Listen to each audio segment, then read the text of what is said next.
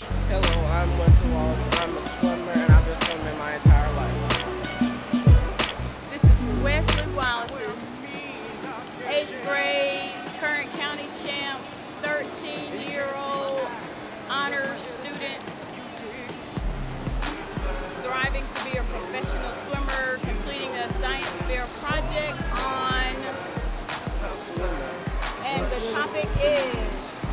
Swimming stroke creates the fastest heart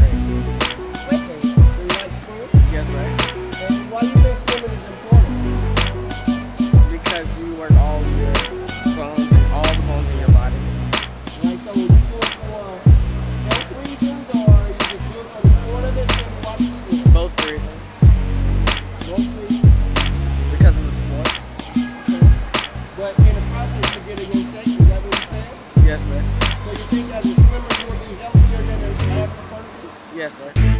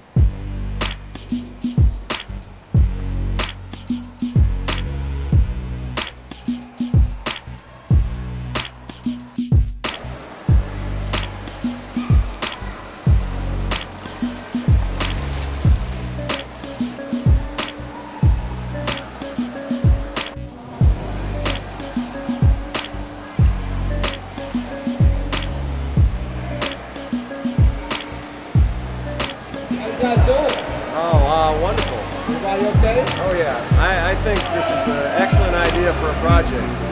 Uh, a lot of times you look at the work people do when they're running, cycling, uh, things that are on land, and you have a full effect of gravity. In the water, it's a different environment. You don't have that same uh, same situation, but you have different different forces and different uh, work that you have to do with the friction that you that you uh, are swimming in, in in the water environment. And so it's really interesting when I when I looked at Wesley's thesis and uh, heard about his project. It'll be real interesting to see the, the results of the data and the results uh, that he finds, the conclusion that he draws, uh, based on, uh, in particular, his own swimming, uh, because he does swim all strokes and uh, and swims them well, and so it can it can be really I think more illuminating when you just look at the same swimmer through different strokes than trying to get a bigger sample size like you would in most types of uh, experiments where you want more people. So in this case, you, you probably limit more of the variables that can be uh, present when you have different swimmers, different abilities, different conditioning levels, when you limit it to one swimmer and look at them in performing the different strokes.